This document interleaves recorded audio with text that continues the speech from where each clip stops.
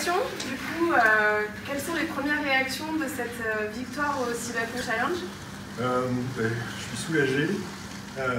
C'est rare que je vois ma prothèse sous cet angle.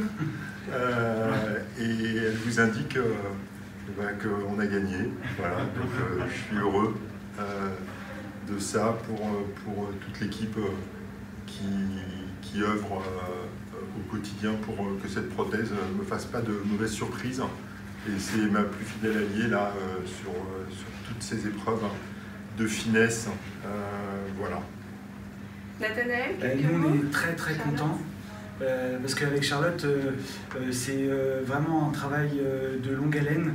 On s'est beaucoup entraîné, on a beaucoup raffiné le développement. Ça fait longtemps qu'elle existe cette prothèse, mais c'est plein de petites touches d'amélioration, de contrôle. Et après, il y a beaucoup d'aléas dans ces épreuves. Euh, on a essayé de prévoir toutes les catastrophes possibles et imaginables. Ça s'est assez bien déroulé, mais euh, bah, on est très content du résultat.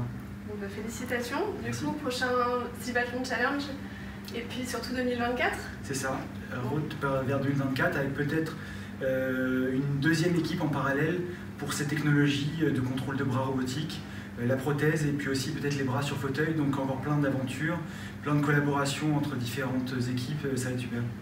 Félicitations et puis on sera ravis de vous soutenir. Merci. Bon courage.